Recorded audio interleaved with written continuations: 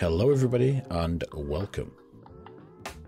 Today, we are looking at an absolute mammoth of a piano. This is the world's longest piano, and it is called the Alexander piano. It was built by New Zealander Adrian Alexander Mann. The concept of the piano started in 2004 when he was just 15 years old, and the project was completed in 2009 when he was 20 years old. The piano is a massive 18 foot 4 inches long, or 5.7 metres, which is over twice the size of a usual concert hall piano. Thanks for watching, please like and subscribe.